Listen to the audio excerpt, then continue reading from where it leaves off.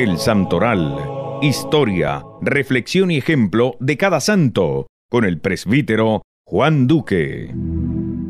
Hoy, 23 de abril, recordamos al mártir San Jorge.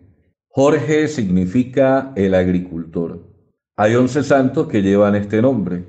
San Jorge mártir es el patrono de Inglaterra y de los Boy Scouts. Su culto alcanzó gran celebridad desde muy antiguos tiempos en la iglesia. La iglesia de Oriente lo llama el gran mártir. En tiempos de las cruzadas, el rey Ricardo Corazón de León se convenció en Tierra Santa de que San Jorge tenía un gran poder de intercesión en favor de los que lo invocaban y llevó su devoción a Europa, especialmente a Inglaterra. Las antiguas tradiciones decían lo siguiente acerca de este santo. Nacido en Lida, Palestina, en la tierra de Jesús, era hijo de un agricultor muy estimado. Entró al ejército y llegó a ser capitán. Se hizo famoso porque al llegar a una ciudad de Oriente se encontró con que un terrible caimán, dragón o tiburón devoraba a la gente y nadie se atrevía a acercársele.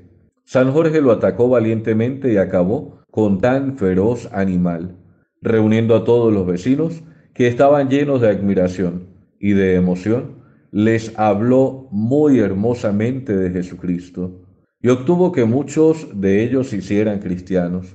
Pero el emperador Diocleciano mandó que todos tenían que adorar ídolos o dioses falsos y prohibió adorar a Jesucristo.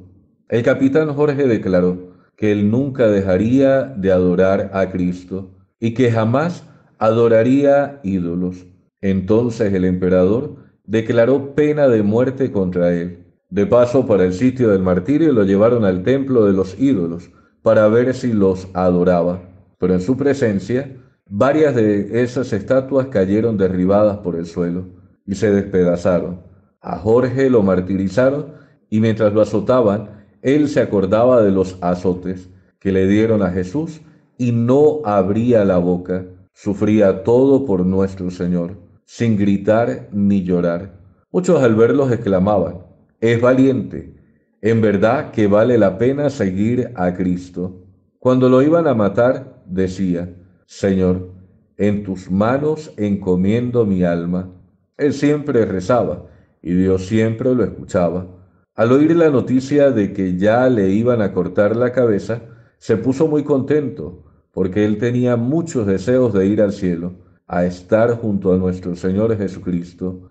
Hasta aquí la sencilla narración de los antiguos. Ya desde el siglo VI se le tenía gran veneración en Oriente. Que Dios nos conceda el valor como a San Jorge para luchar contra el dragón infernal, vencerlo y no permitirle que nos esclavice con sus tentaciones.